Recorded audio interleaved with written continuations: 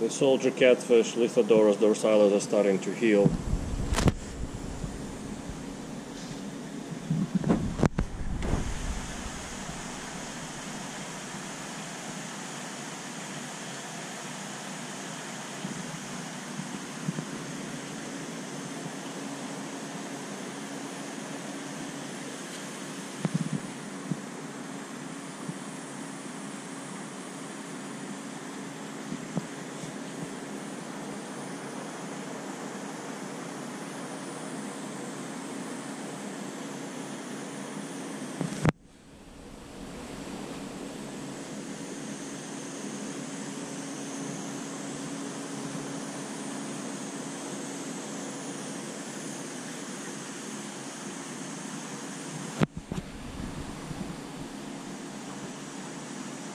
All I did was open this lid and they became apprehensive.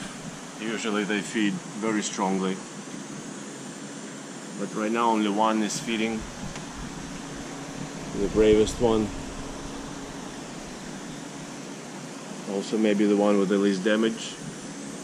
And these two are afraid to come out of their hole, even for the food, which they love to death.